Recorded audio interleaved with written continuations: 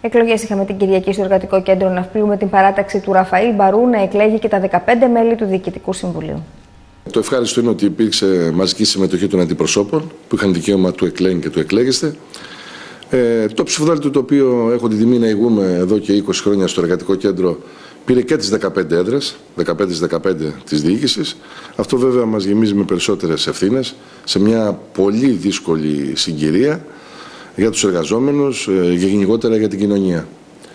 Ε, όπως λειτουργήσαμε όλα αυτά τα χρόνια με αίσθημα ευθύνης και αξιοπιστίας απέναντι στους εργαζόμενους, το ίδιο πιστεύω ότι εγώ και οι συνεργάτες μου θα κάνουμε και την επόμενη τριετία. Ένα μεγάλο ευχαριστώ σε αυτούς που τόσα χρόνια μας εμπιστεύονται. Οι εκλεγέντες είναι... Θέλετε να σας πω τα ονόματα, είναι, είναι πάρα πολλοί, να σου διαβάσω. 15, 15, ναι, είναι με αλφαβητική σειρά θα τους διαβάσω.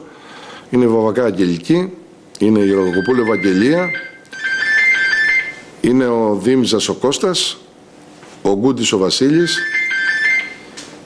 ο Κωστόπουλος ο Σάκης, ο Λούκος ο Θανάσης, η Μίχα η Πινελόπη, εγώ, η συναντέλευσα η Μπίμπα η Μαρκέλα, ο Ξενίδης ο Σωτήρης, ο Λάνης ο Δημήτρης, ο Πασπαλιάρης ο Γιάννης, ο Σταύρος ο Γιώργος, ο Στρατής ο Δημήτρης και ο Χρόνης ο Νίκος.